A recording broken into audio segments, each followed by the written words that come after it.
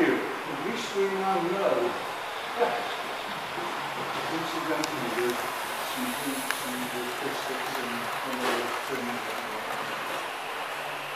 and one of those things.